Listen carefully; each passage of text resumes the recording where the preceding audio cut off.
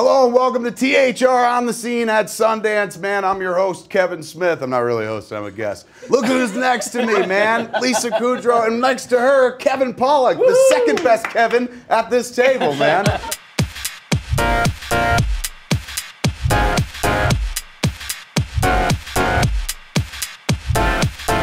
And we're here to talk about Kevin's movie, his directorial debut. Now I see the controls over to Thank you so much. Say your name, here. introduce. Yes, um, I'm Stacey Wilson from The Hollywood Reporter. So congratulations to all of you on the sale of your film to Tribeca Films. Let's give everyone a round of applause.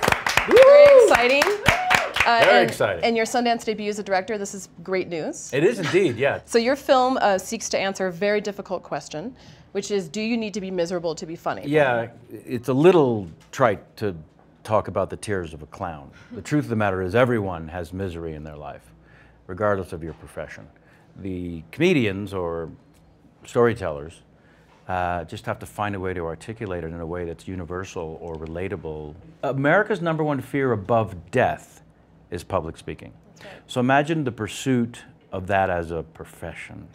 Who, who, what? So to me, the film sort of opened up to the bigger story, which is who's that person? when you're alone and you're solo up there and you can modulate them and you get the laughs and you can build on it you could go back and forth and you could the power of like uh, calling back something and having them it's like you're you're you're the one man show. And it, you, the adrenaline and blood shoots through your head in a way that I think is identical to uh, to uh, crystal meth.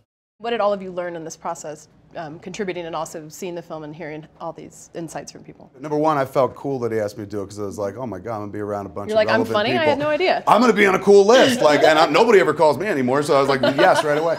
But the other thing that like that really made me uh, I, like I felt weird because I was, you know, he, he told me what the theme was, and, and I'm like, I'm not one of those people. Like, I'm never really unhappy. I'm always like, geez, I'm, I'm so happy to be here. So I told him, I was like, dude, I don't have any. There's no you know, like bitterness in my background. It's just a series of like blowjobs and donuts, uh, and it, it- I'm not not, not in- literal, not just in that order. life, Yeah, yeah, by not in that order. And Lisa, what reality does this have in, in your life as a performer? You, you don't seem to be a tortured soul, um, but at the No, same, I don't. I mean, I. But my personality is. I don't think I'm a tortured soul. Tortured soul. But am am I? I mean, but I don't There's the think I sweet am. torture right there. I think I'm pretty right. I think I'm pretty okay. But yeah, and I've not done stand up. I one time I did improvise. But you started in stand-up. sketch and you've done a yeah, lot of sketch, work like that, comedy, yeah. and yeah, I mean, you know, making an audience laugh. So there's that. But to me, stand up, it's a whole other discipline, skill set. A good joke told well is really hard. Who most surprised you with their insights? I think everyone surprised me, honestly, not to dodge the question. I'm Marty Short talking about not being able to be happy for his friends when they first made it, and, and literally having this little moment where he and his wife had to sit down on a bench because he was on his way to meet Bill Murray and Paul Shaffer to have dinner, and he- he said, I can't go. I just, I can't pretend to be happy for them. Really? Yeah. Hey, ask him this. Are you gonna? What are you gonna do next? Docs or features?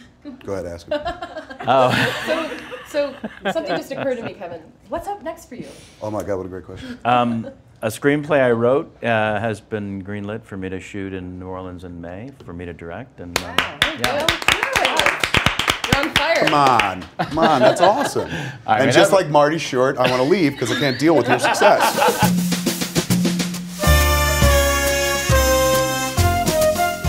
Best, first, worst, or last. Okay, so this is like fuck, Mary, kill, but Right, with one more exactly, option. like that. Exactly. That's awesome. You can say that, by the way. Kill. We can start Kill, with kill, first, kill. maybe because you're our first group. Uh. First celebrity crush. This is not in any way, shape, or form to be ass kissy. Robert Redford in um, Butch Cassidy and the Sundance Kid was 100% my first crush. Vivien Leigh. Because I was 12 and my Yeah. mother made me go see Gone with the Wind. Yeah. Not because it was just opened. it was a re-release many, many decades later. And I watched her and watched that movie and went, okay, that's what I want, because that's a story about a woman and she's fantastic. And oh, that's what I, ooh, okay, there I go. My first celebrity crush was Carrie Fisher, Princess Leia, and I got to work with her years later, and that was awkward. But the uh, because the whole time I'm like the things I did with your sheets. The uh, but my first like the person who or it's not really a celebrity, although he is now. He's had quite a year. Richard Linklater probably had the biggest impact on me. It was Richard Linklater making Slacker that profoundly affected me because I'm like, oh my lord, like this this counts as making a film, then I want to make a film as well. Um, the thing is, Richard went on to be he's going to win an Academy Award any minute now, and I'm and still just watching. a year ago, he, they were sitting here in this lounge unveiling their movie, and it's Right. incredible. What, what does that mean, Will? I'm not. I mean, I'm not saying that. You're not promising? You I'm are this year's. anything, you are saying, you are Dick it's- Linklater this year. yours. First concert you attended.